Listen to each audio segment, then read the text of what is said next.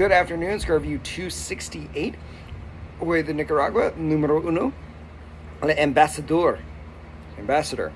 Six and five eighths ring gauge. Uh, sorry, six and five eighths inches by 44 ring gauge. I'm being distracted by my assistant here. It's a almost Nicaraguan Puro. It's all Nicaraguan except for an Ecuadorian wrapper. About 15 bucks a cigar, so this is not a cheap one. It was number six in the world in 2020.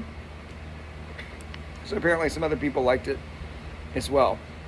And it is interesting to note, just, just like the Cohibas, it was supposedly reserved just for ambassadors at one point.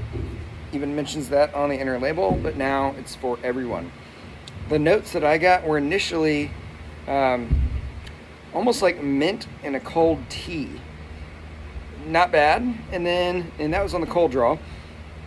then I got on the first half inch, like fire cured wood almost like some of the Drew Estate cigars. Right, something that I personally don't mind when it's not overdone. But then the cigar really settles into its element. We get, okay, buddy, we get cream and violet.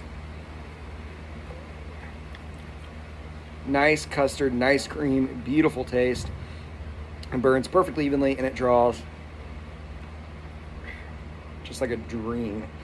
It's a very mild cigar. This would be a fantastic breakfast cigar, or if you were doing something where you wanted a long cigar that's not just gonna you know, put you on your bottom.